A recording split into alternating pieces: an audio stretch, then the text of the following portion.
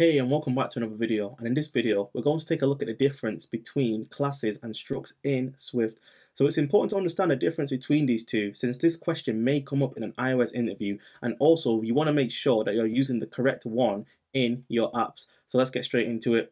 So let's create a new SwiftUI playground that you can see here and if you want to create a SwiftUI playground, if you open up Xcode, File, New and then Playground and within this we're actually going to start off by looking at structs. So a struct is a value type. What does this mean? It essentially means that if you create an instance of it, but when you modify its value in another property, it creates a new copy of itself rather than updating a reference to itself. So let's just see this in action now. So what I'm going to do is just delete this and then create a new struct called car. So now let's actually create an instance of this. So when I create an instance of car, you should notice I actually automatically get the initializer handled for me. So when you're working with structs, unless you give that value a default value, it automatically creates an initializer for you. So you don't need to do that. So let's actually set this now. And I'm just going to say the card is an Audi. What we're going to do is actually update the miles in this car. So now, when we run this in our SwiftUI playground, you can see here that it actually prints out our car and we updated this car to have the miles of two so it's actually dumping out two rather than five. But what about if we actually wanted to create another copy of this variable and actually update this one here via our copy? So let's actually see what happens now. So I'm going to create a, another variable called car and then we're going to assign it my car and then in your car we're going to set the miles back to 5 looking at this you may think that what's going to happen is my car is going to be set back to 5 rather than 2 but let's actually just dump this out and see if they both match. Cool. So as you can see, they don't match. So what's happening here? Well, the reason for this is because it's the the reason for this is because of the way structs work. So when we assigned out our car to our new variable, your car, it actually created a copy of my car. So within it, it actually created a copy of my car with the same values at that time. So on line 12, at this point in time, your car was actually two miles and my car was also two miles as well. But when we made a change to your car and we set the miles to five, it only updated this variable here and not this one. And that's because when you're working with structs, they're value types. So with value types, when you actually assign it, it actually creates a copy of that object at that time and then you have a brand new object with a copy of what existed just then. So what about if we actually wanted to update our car with a function as well? How could we actually do that? When you're working with structs, you're able to write functions within them like so. So we just say increase. So when you're working with structs, you can write functions within them like this, but this won't work. And the reason why this won't work is because you're trying to update itself and structs are value type. So you're not actually able to change itself. So in order to actually make a change to itself, you need to use the mutating operator. So let's actually add this in. And now by us actually adding in the mutating operator, it now makes our struct mutable. So we're able to change it. So without this, our struct is immutable, but this allows you to update itself. Let's actually delete these lines and use our function instead. So I'm going to say I want my car to increase the miles by two here. And then I want your car to increase its miles by five. So let's run this and see what happens. So as you can see again, we don't have the same values. So what's going on is we create our car, my car here and it has five miles. I increase it by two, so I get seven. Then we assign my car to your car and then we increase your car by 5. So at this point, 5 plus 2 is 7. We create a copy of it. It's actually 7 when we create a copy of it in your car and then we increase it by 5. So now it becomes 12. So you can see here that when you're working with structs, you actually don't get to update the same reference to it.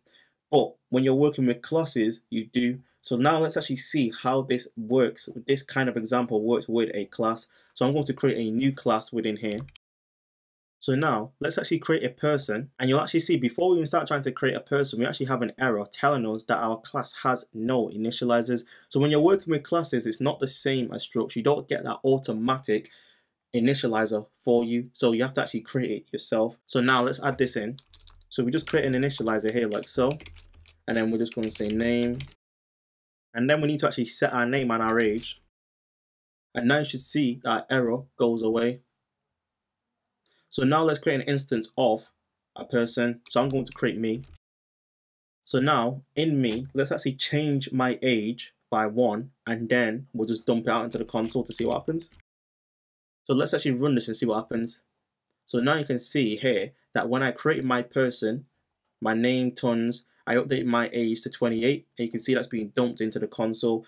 So this is similar to what was happening before when we were just dumping out the increase for our my car. But one thing to notice here is that if you actually look at me here, we're able to change the age of me even though we define it as a constant. And why is this?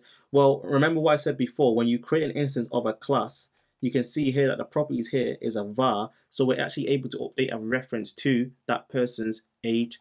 So let's actually create another person in here with a copy of me, and we'll update their name and their age as well. So I'm just to do that now. So what we've got here is we've now got our new person and I've just updated their age and their name and I've just dumped him and you can see when we actually dump him you can see that we're actually getting an update to both me and new person so this is the difference here in action between structs and classes so we're actually updating a reference to new person so when we actually assigned me to new person it didn't actually create a new copy instead it passed a reference of me in memory within new person. So the value inside of here is the same value within in here.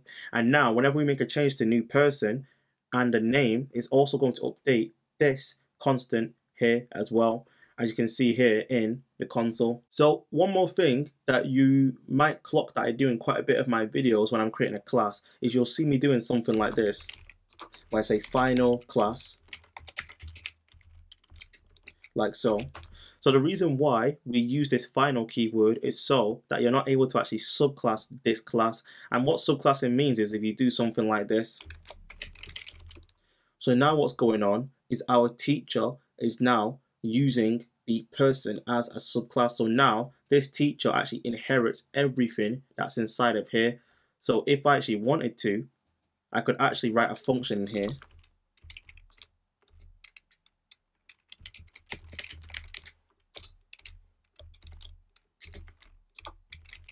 and you'll see I'm now able to access the person's name and also I'm able to access the person's age as well. So by subclassing, we're able to access properties within that class. So this is very good for stuff like polymorphism, which I'm not going to cover in this video, but if you just check it out, you'll see use cases of where it's used. So this subclassing that we have here as well, you're not actually able to use this with structs as well. So this is something that's only available with classes and it's kind of used when you're working with object-oriented programming. That's the main difference between structs and classes and how they work. And you may be wondering now, why and when do I actually want to use either when I'm working in Swift UI or just build an iOS application? Well, in my opinion, what you want to do is that if you're working with a simple data model, nine times out of 10, you probably want this to be a struct. And the reason for this is because you don't really need to create a reference of this data model. It's just data that you're going to be showing on the screen. You don't need a reference to it. But if you actually want some kind of object that you can actually use to pass around your app and you need to observe and keep alive for as long as your app is, you know, in the foreground, nine times out of 10, you actually want to use a class since this allows you to keep a reference of it in memory for usage later within it. And if you actually make a change to it, you won't get copies. Instead, you'll just get an update to a reference to it in memory. And if you want to learn more about this, then you can actually check out my videos about classes and structures called easy ways to create data models in Swift UI and how to build a view model with a class. So that's everything in this video. If you enjoyed this video, I'd love to hear your feedback in the comment section below. Also, as well, if you haven't already, I'd appreciate if you gave this video a thumbs up and subscribe to the channel, as well as hit the notification bell to get updates for whenever I release a new video. That's everything from me. I'll catch you on a bit. Deuces.